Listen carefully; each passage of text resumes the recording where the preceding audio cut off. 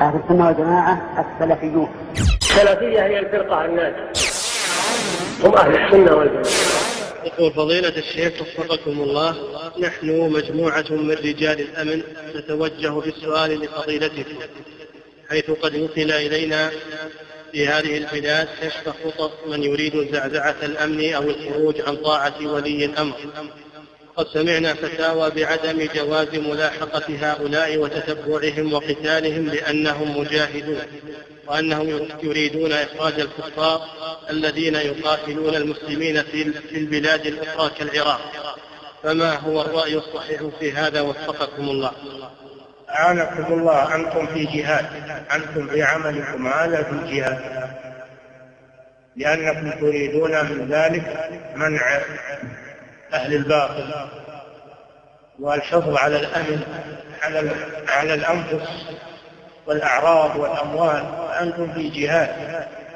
أعانكم الله. ويكتب لكم أجر المجاهدين.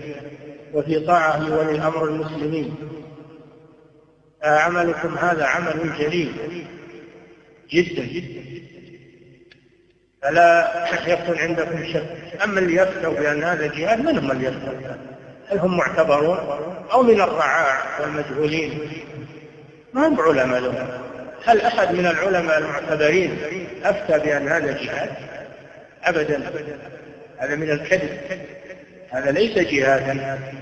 هذا معصية لله ولرسوله واستباحة لمحارم المسلمين وخروج عن طاعة ولي أمر المسلمين. كل هذه معاصي كبائر والعياذ بالله. ليس هذا من الجهاد. هذا نعم هذا من في سبيل الشيطان أو في سبيل الله لأن هذا معناه إضرار بالمسلمين. وأما إخراج الكفار ما هو إليكم؟ إخراج الكفار عند ولي الأمر هو اللي يعطيهم الأمان ويدخلهم لمصالح يحتاجون إليها ويطلعهم إذا كانت مدته. والرسول يقول أخرجوا اليهود من جزيرة العرب هذا خطاب لولاة الأمور. ولذلك لم يخرجهم إلا عمر رضي الله عنه. ما أخرجهم الناس. أن يخرج الكفار هو ولي الأمر. واللي يدخلهم هو ولي الأمر. من صلاحيات ولي الأمر. وهم ما جو إلا نحن جبناه لمصالحنا. ما جو غزاة. جاءوا مستدعون للقيام بأعمال إما سفارات وإما شركات وإما المسلمون جابوهم لمصالح وقد أخذوا الأمان والعهد. يقول والنبي صلى الله عليه وسلم يقول من قتل معاهدا لم يرش رائحة الجنة. رواه البخاري. وإن ريحها لا يوجد من سبعين سنة. وعيد شديد. فاللي يفتي بأن هذا جهاد ليس بعالم.